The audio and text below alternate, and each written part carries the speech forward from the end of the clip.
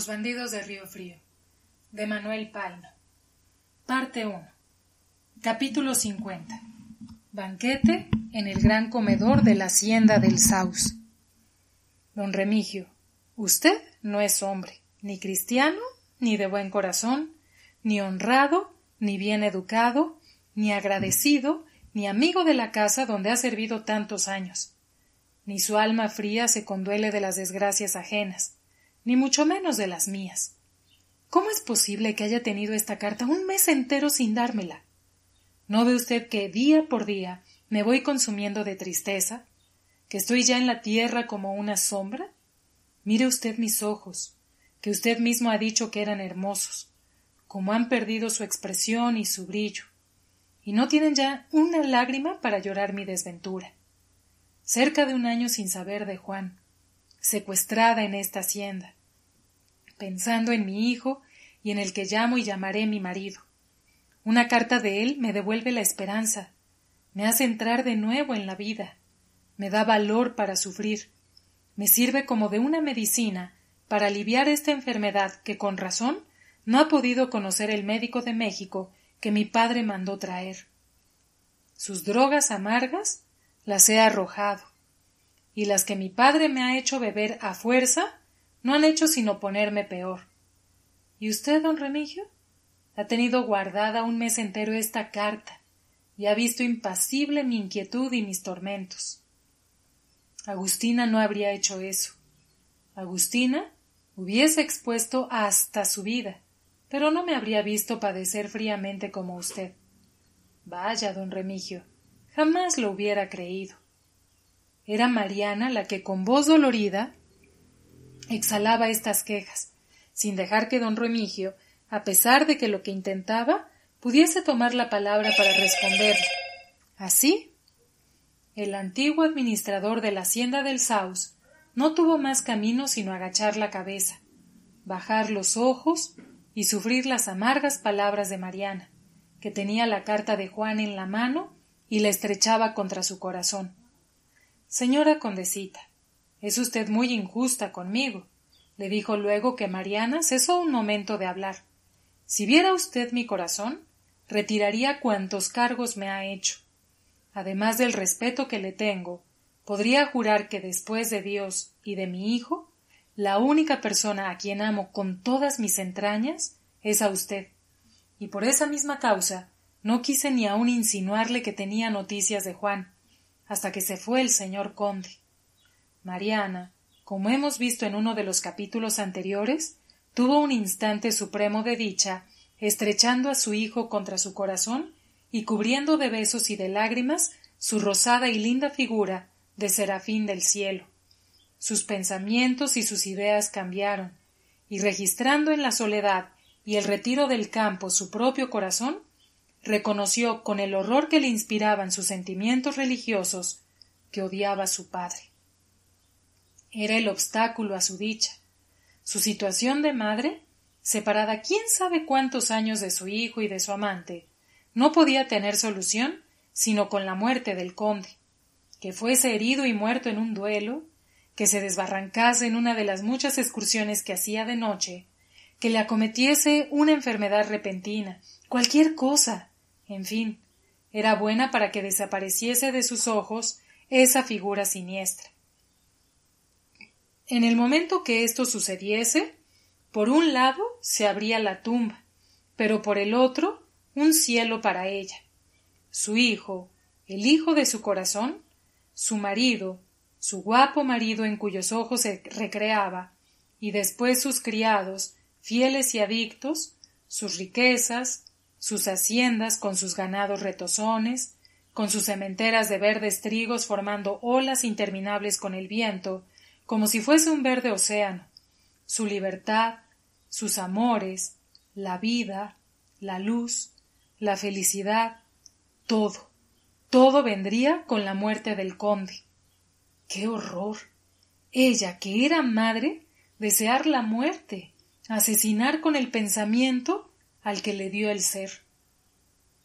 Esto la volvía loca, día por día, hora por hora, instante por instante, estaba atormentada por estos siniestros y criminales pensamientos desde que fue llevada de nuevo a la hacienda por el conde, y ni los consejos que excusas podía darle don Remigio, ni los paseos a caballo o en carruaje, ni la abundante mesa que le preparaban diariamente eran bastantes para dar otro curso a sus ideas, y reconocía que cada día entraba en una vejez prematura.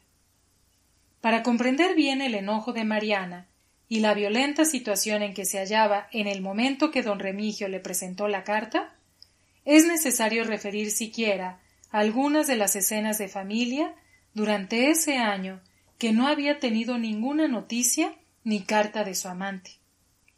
Poco o ningún caso hacía el conde de su hija. La mayor parte del tiempo la pasaba en los minerales inmediatos. Había dado en la monomanía de las minas, y tenía razón, porque si había gastado mucho dinero en explotaciones, otras habían producido bonanzas más o menos importantes, pues que, en resumen, no sólo no habían reembolsado, sino dándole sobrantes que mandaba a la Casa de Moneda de México, donde tenía un gran depósito de pesos flamantes, sin que dejaran de estar llenas las cajas de cedro de la casa de don Juan Manuel. Agustina, cada vez que las abría para añadir algunas talegas o sacar lo necesario para los gastos de la casa, decía ¿Para qué sirven estas riquezas? La pobrecita condesa no las disfruta, y su hijo perdido, y tal vez pidiendo limosna, no verá nunca estas cajas de oro y de plata. Cuando el conde regresaba de sus expediciones lejanas, apenas saludaba a su hija. Platicaba brevemente con don Remigio, haciéndole preguntas sobre la hacienda y los ranchos, ordenándole que hiciese remisiones de caballos y mulas a San Luis y a México, concluyendo siempre con la amenaza de atravesar con su espada a Juan el día que tuviese la, audacia de presentarse en la hacienda. Don Remigio suspiraba y decía No hay cuidado, señor conde. Mi hijo está muy lejos, y es probable que no lo vuelva a ver. El conde se retiraba murmurando entre dientes palabras amenazadoras contra Mariana y contra el hijo del administrador, y se encerraba dos o tres semanas en sus habitaciones, donde se le servían las comidas, y sólo don Remigio penetraba cuando había algún asunto urgente que comunicarle. Durante este encierro se ocupaba de registrar el archivo de la casa, de organizar sus papeles y de hacer cuentas sobre cuentas del dinero que le habían costado las empresas de minas y de lo que había utilizado en ellas. Repentinamente salía de su encierro, mandaba ensillar uno de sus mejores caballos y sólo salía de la hacienda, a donde no regresaba sino a las ocho o quince días. ¿Dónde se iba? Don Remigio lo sabía perfectamente. En cada rancho, en cada pueblecito de los que rodeaban la finca, el conde tenía una favorita, y las muchachas lozanas y blancas de ese país casi fronterizo que pobló la singular raza de los vizcaínos, tenían a mucho honor que el señor conde las visitase. En estas excursiones era otro, desarrugaba el entrecejo, perdía lo hosco de su carácter, era generoso y amable con las familias, solía reír. Don Remigio contaba con mucha reserva a Mariana, que a veces, y con motivo del cumpleaños de alguna moza, armaba fandangos que duraban toda la noche, y que un día había bailado y cantado con una voz ronca de buey unas peteneras. Cuando después de estos devaneos regresaba a la hacienda y veía a su hija, recobraba su aspecto horroroso y feroz. El día menos pensado salió al portal de la hacienda, llamó a la cocinera y a don Remigio, y les dijo Hace tiempo que el gran comedor está inhabitado, y nadie se sienta a la mesa. Mariana es una muchacha caprichosa que se encierra en sus piezas y no se comunica con nadie, ni aun con su padre. El domingo quiero comer, y muy bien, en el gran comedor. Que se sacuda. se limpie y se saque la vajilla de plata, de gala, que tiene las armas de los condes del Saus, y así seguiremos hasta que vengan las visitas que espero de un momento a otro. Aquí está la llave de mi silla.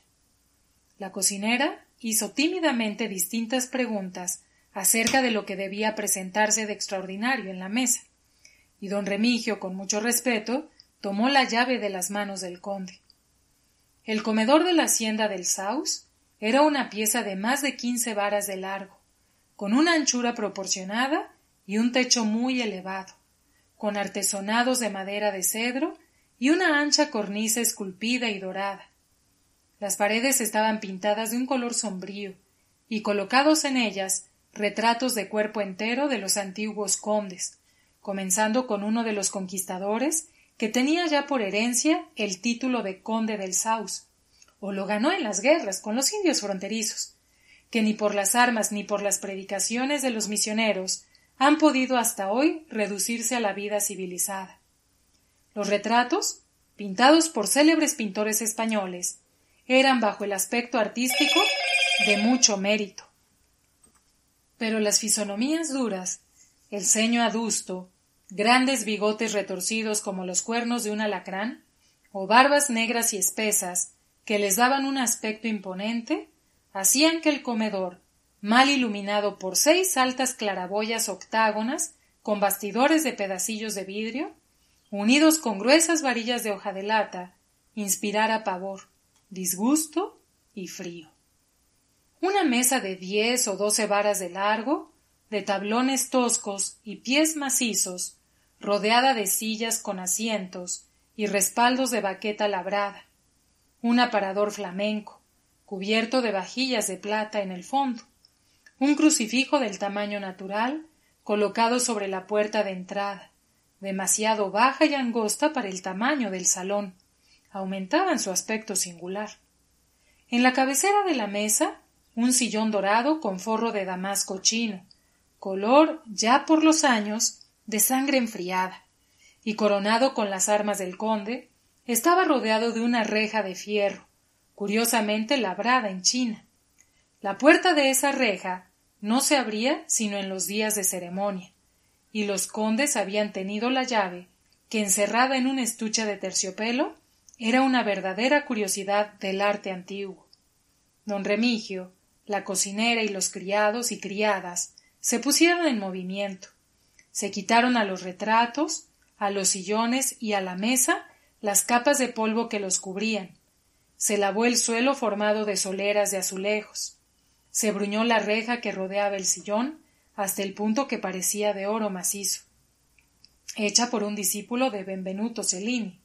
Se mataron gallinas, guajolotes, un cordero y dos cochinitos.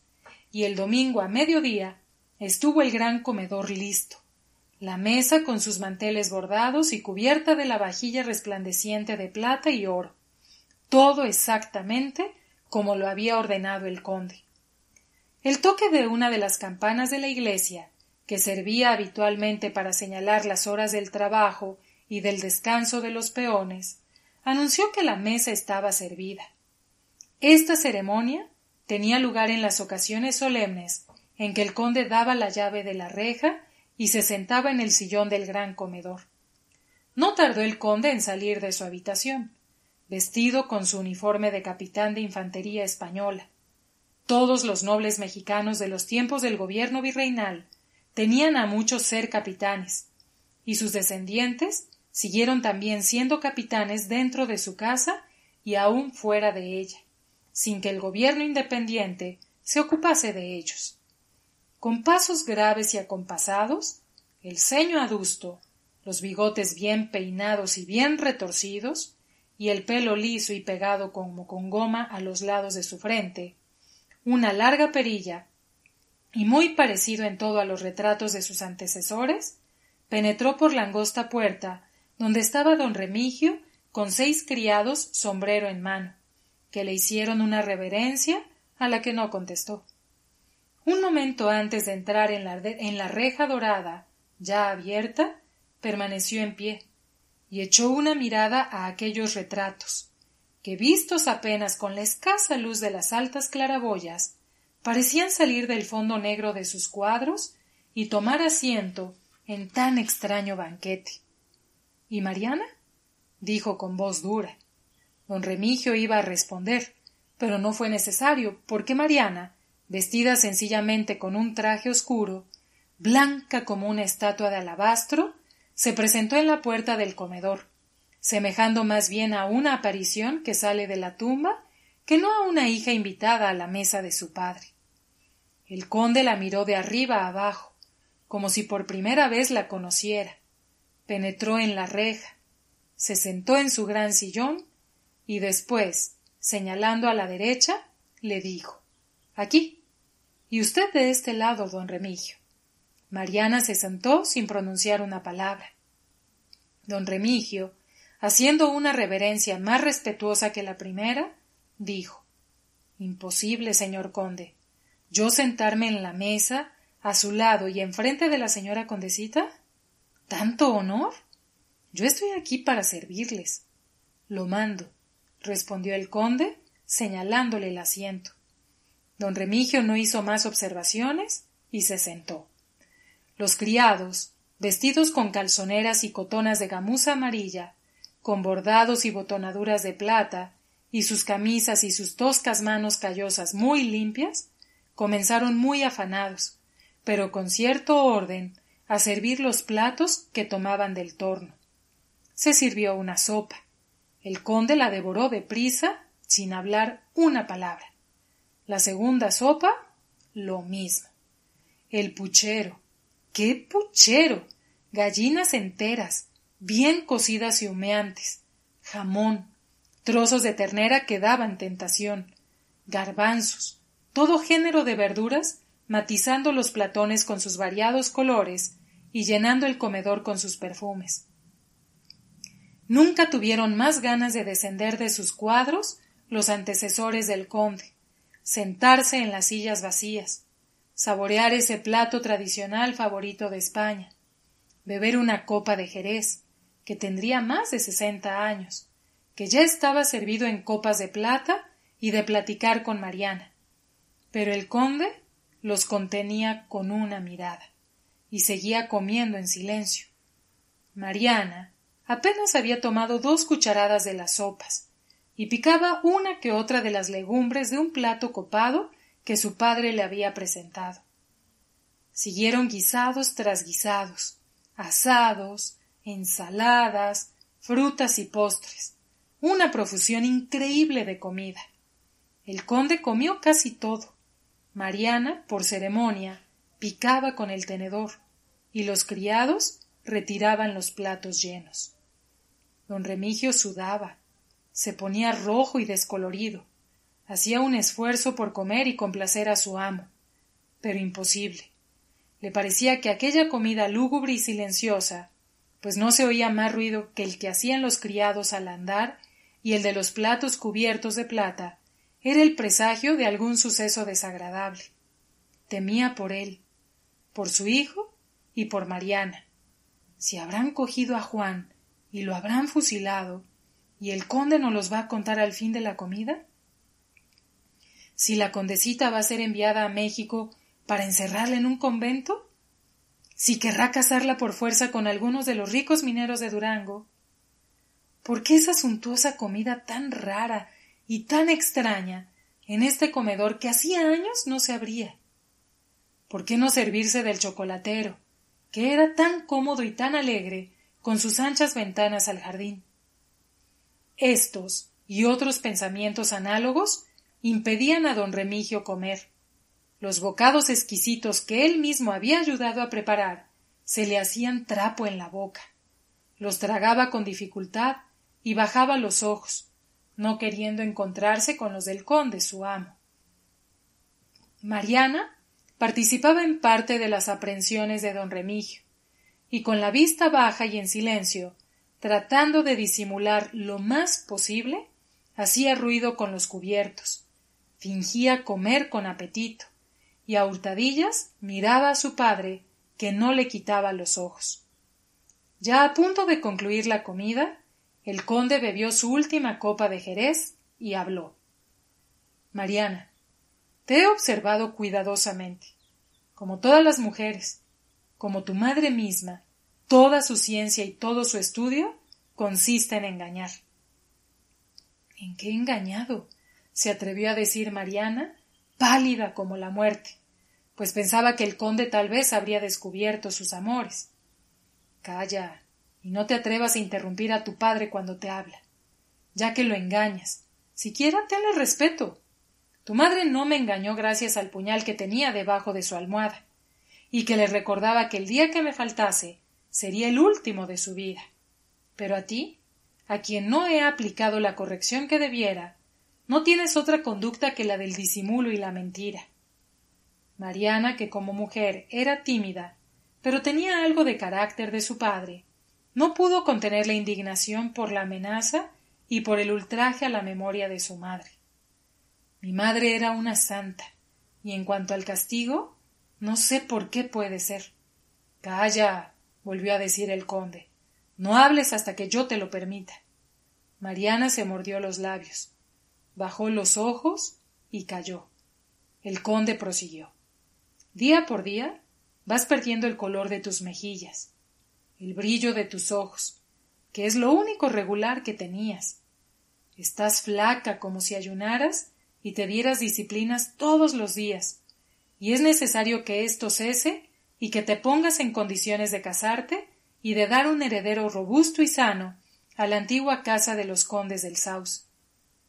Mariana respiró, pues por la calma aparente con que le hablaba el conde, se conocía que ignoraba sus amores, y que ella había dado ya, aunque sin el conocimiento de la Iglesia, un heredero a la antigua casa de los condes del Saus.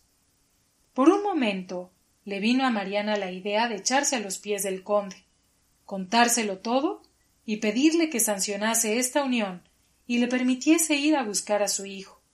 Pero tuvo miedo y volvió a sentarse en la silla de donde se había levantado.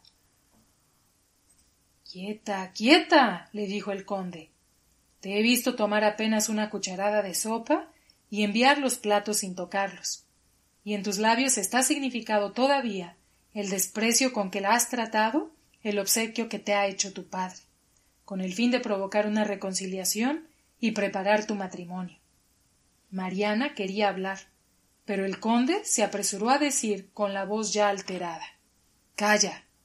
Los hijos no discuten con sus padres. Vas a comer bien, y con buen modo, continuó. Y usted, don Remigio, que nos quería servir, tendrá mucho honor el traer a la condesa todos los platos que se han servido, comenzando por la sopa. Don Remigio estaba medio desvanecido. No se daba cuenta de lo que pasaba y no se movía. Pero el conde le gritó Vamos, don Remigio. ¿No me ha comprendido usted?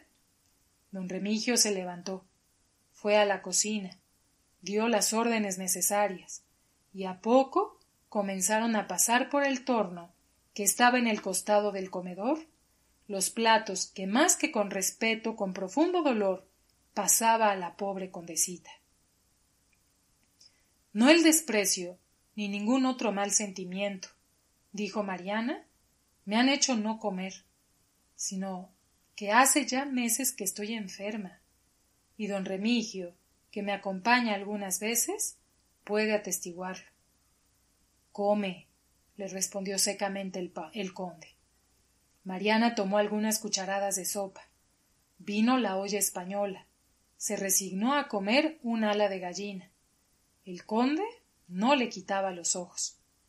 Por poco que comiese de cada cosa, no era posible que pasase a más. Rehusó el asado. El conde se acercó al platón, cortó una rebanada y sirvió a Mariana. Poniéndose en pie y dando una palmada en la mesa, gritó Vive Dios. Todo el mundo se empeña hoy en desobedecerme. A medida que soy amoroso y cumplido, todos son canallas y desagradecidos. Me empeño por tu salud y tú me desobedeces. Te has de acabar ese asado. Pero, señor conde, se aventuró a decir don Remigio, la condesita ha comido ya y podría hacerle daño. ¿Se atreve usted a contrariarme, don Remigio? No, señor conde, de ninguna manera. Solo que, por compasión. El conde miró fieramente a don Remigio. Mariana partía nerviosamente el asado. Se llevaba los bocados a la boca y se los tragaba enteros, como queriéndose ahogar con ellos. Y dos hilos de lágrimas corrían por sus mejillas y se mezclaban al vapor aromático del manjar sabroso y caliente. Cuando Mariana concluyó, sin dejar ni una partícula de carne, el conde llenó una gran copa de plata con el jerez y se la presentó. Bebe. Esto te aprovechará. Mariana tomó la copa, dirigió una mirada terrible a su padre, acercó la copa a los labios y bebió con avidez el contenido hasta la última gota. Un momento quedó aturdida, y como si fuese una estatua de plomo adherida a la silla. El conde la miraba y ella al conde. Era como un desafío para la eternidad. Después, Mariana dio un salto nervioso, lanzó un grito más bien de rabia que no de dolor, y cayó al suelo inanimada. Rayos y centellas. gritó el conde. La suerte no me favorece hoy. Dos minas en borrasca. Eligio de Remigio, tal vez cerca de la hacienda. Y Mariana rebelde, fingiéndose muerta. Tiró de la servilleta. Rodaron, rodaron al suelo con estrépito los platos y las copas de plata, y salió precipitadamente del comedor. Los criados, con los ojos que se les querían salir de las órbitas, llenos de terror, no se atrevían a moverse. Don Remigio tomó en sus brazos a Mariana, la llevó a su recámara y la colocó delicadamente en su lecho. Si no fuese por ella, dijo, hoy hubiera sido el último día de vida del conde, y me habría ido a refugiar con mi hijo a los aduares de los bárbaros. Las criadas se apresuraron a administrar a la enferma diversos remedios caseros, mientras don Remigio montó a caballo y fue en busca de cualquier médico a los pueblos más cercanos. Pasado el primer momento de cólera brutal, el conde volvió en sí, y un movimiento del poquísimo amor paternal que aún le quedaba en el corazón le hizo ir a la recámara de su hija, que permanecía con los ojos cerrados, sin movimiento, y congestionada por la cólera y el exceso de alimento. El conde la acarició, haciendo un esfuerzo, y cuando no lo veía nadie, le dio un beso en la frente, y permaneció a la cabecera de su cama hasta que regresó don Remigio con un muchacho practicante muy vivaracho y acertado. La pulsó, la reconoció y sin saber por supuesto nada de lo que había pasado, dijo al conde A esta señorita le han ocasionado no sé quién pesares graves. La han hecho comer con exceso, la han mortificado. Esto es todo y podía haber sido una congestión fulminante. El conde se mordió los labios y miró a don Remigio. ¿Ha contado usted algo al médico? Ni se necesitaba, se apresuró a decir el practicante. Los que estudiamos y observamos a los enfermos reconocemos con solo verlos la enfermedad de que padecen. No será nada. Traigo mi botiquín en el que tengo lo necesario para aliviarla. Le aplicó desde luego un pomito a las narices. Con el contenido de otro le frotó las sienes, y con esto Mariana abrió los ojos, pero los, volvió a cerrar cuando vio la figura siniestra de su padre. El mediquín comprendió lo que había pasado.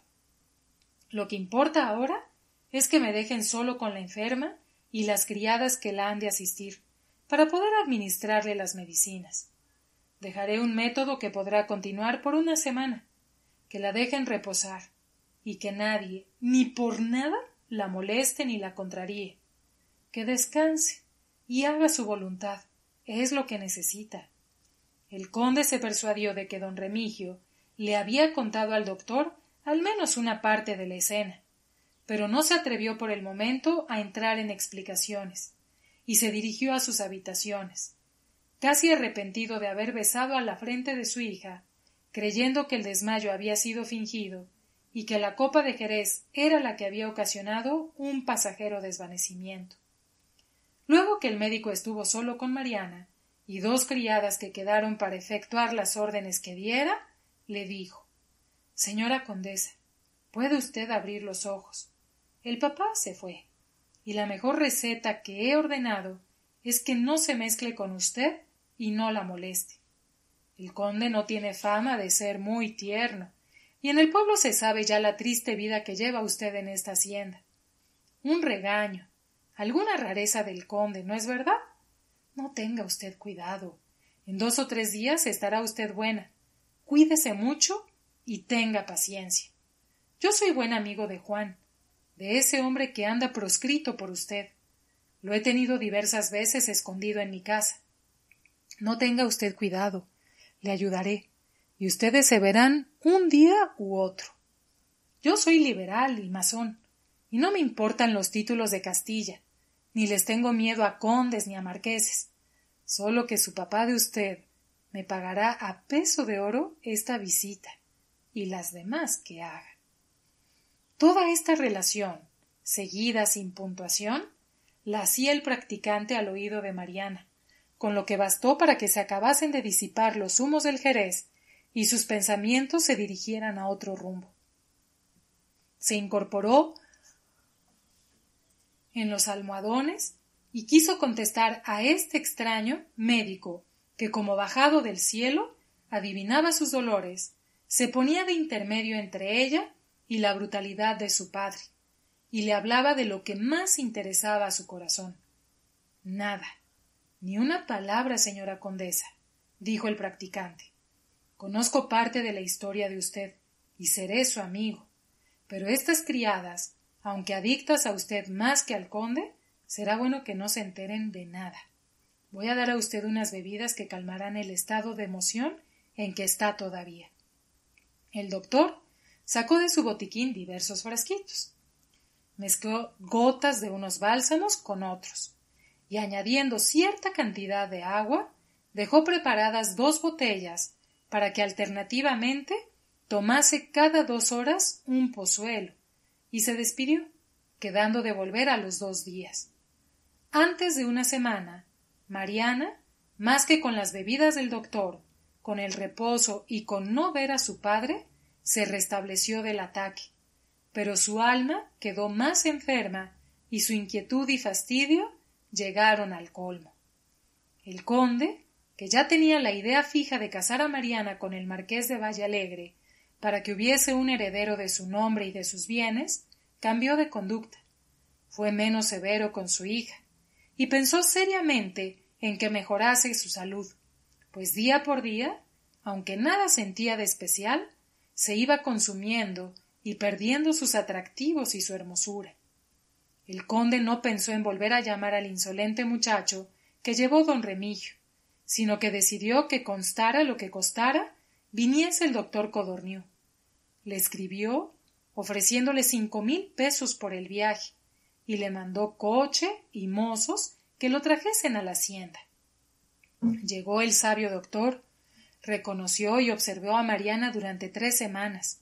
Le mandó algunas medicinas que o no le hicieron efecto o la empeoraron, y al fin se despidió de la hacienda, declarando que lo que tenía la condesita era patema de ánimo, que lo que convenía era distraerla, que hiciera ejercicio a pie y a caballo, llevarla a México, que fuera al teatro y a Bucareli, y sobre todo que se casara.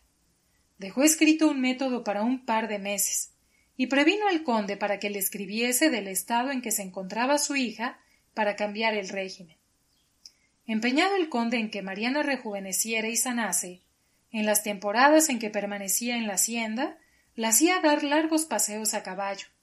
Comía con ella en el chocolatero, pues el comedor grande se cerró al día siguiente del extraño banquete se encargaba él mismo de darle las bebidas y cucharadas, y la hacía comer más de lo que apetecía.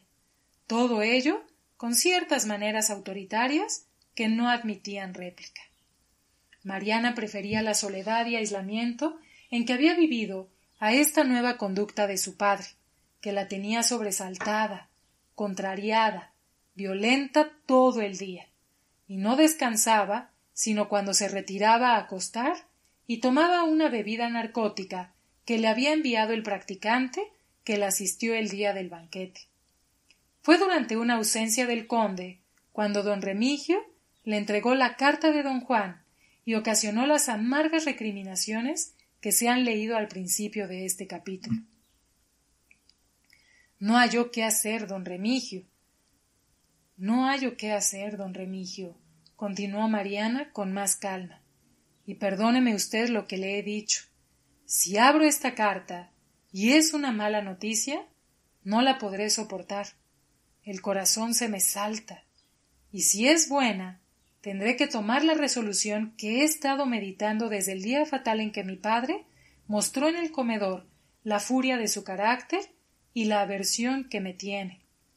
En fin, le pediré a Dios consejo, y en la soledad de mi recámara leeré lo que me escribe Juan. Usted lo sabrá todo, don Remigio. Al fin soy más bien hija de usted que del conde. Don Remigio se retiró triste. Toda esta historia fatal de su hijo y de la condesa lo tenían sin vida. Estaba seguro de que si el conde llegaba a saber lo que había pasado, habría una catástrofe, y estaba resuelto a matar al conde antes de dejar perecer a Mariana. En una hacienda de bellísimos campos, de ganados lozanos y valiosos, con un palacio por casa, las caballerizas llenas de magníficos caballos, coches, plata labrada, en una palabra, el lujo y la opulencia más completas, sólo eran felices los peones humildes, que no sabían el drama terrible que se desarrollaba entre aquellas tres personas que reconocían como sus amos. Mariana guardó la carta en el seno, entró en su recámara y se encomendó a aquella Virgen milagrosa de las angustias que le dio vida en la pobre casa del chapitel de Santa Catarina. Después tranquila, cerró su puerta, se sentó delante de su bufete y abrió la carta de Juan.